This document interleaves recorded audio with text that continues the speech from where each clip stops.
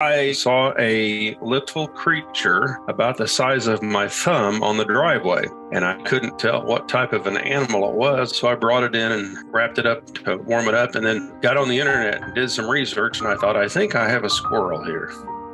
I really didn't think he would survive, but I decided to, to give it a try. I began him on puppy milk formula. I had to feed him that every three hours around the clock. When he was about 30 days old, he opened his eyes. He was beginning to crawl on me.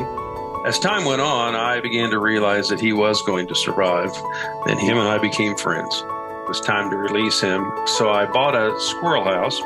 He loved it, and that was his home. He bonded with me. He comes in the house when he wants to. We're friends, and sometimes he'll sit on my knee while I watch television. When he's ready to go outside, just like a pet, he'll run to the door